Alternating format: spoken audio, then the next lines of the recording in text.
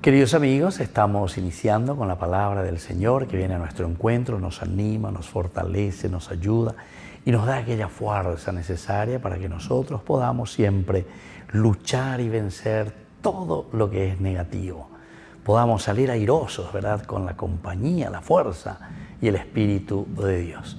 Hoy leemos, queridos hermanos, del libro del eclesiástico que nos acompaña en estos días, capítulo 51, versículos 12 al 20. Ah, Señor, te daré gracias y te alabaré. Bendeciré el nombre del Señor en mi juventud, antes de andar por el mundo, busqué abiertamente la sabiduría en la oración. A la entrada del templo pedí obtenerla y la seguiré buscando hasta el fin. Cuando floreció como un racimo que madura, mi corazón puso en ella su alegría. Mi pie avanzó por el camino recto y desde mi juventud seguí sus huellas. Apenas le presté un poco de atención, la recibí y adquirí una gran enseñanza.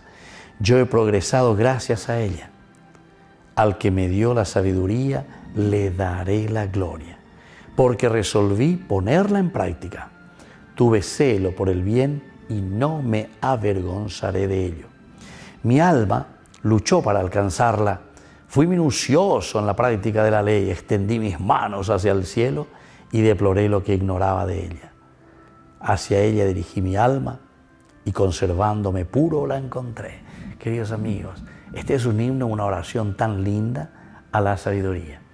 Ciertamente que el autor sagrado ñepunua yepo ñamindu ujina esaina.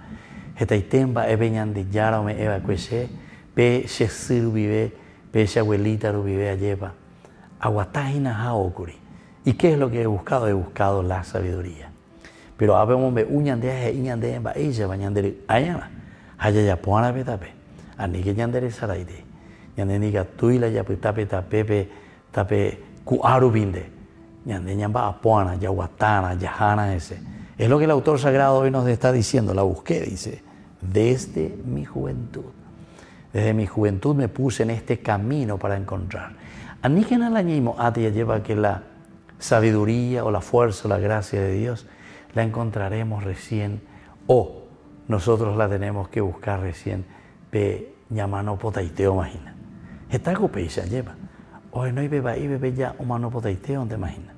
Queridos amigos, busquemos la sabiduría, como dice hoy el autor sagrado, desde pequeños, desde que comenzamos a sentirnos, desde que comenzamos a entender, porque comienza luego te daré gracias y te alabaré. Porque esta tiene que ser la actitud de todo hombre, la actitud de todo cristiano, ñande cupeyana, ñande agradecido, ñama ponana, ya esana, ya eana ñande yara. Este tema ema vigoreme ese haupeare go se la agua tajina agua ta se vea llepa haya pose haya pose hina pendere hielo se. Entonces por eso va narrando va mirando va diciendo mi pie avanzó por el camino recto y desde mi juventud seguí sus huellas. Esto también implica en nosotros lucha, empeño.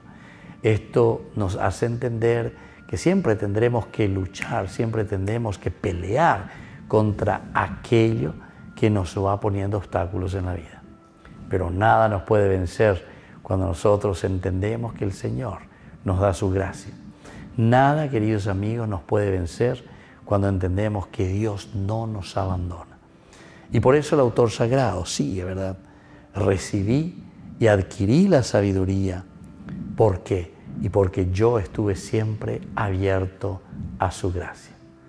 Que la bendición de Dios descienda sobre todos ustedes, el Padre y el Hijo y el Espíritu Santo. Amén.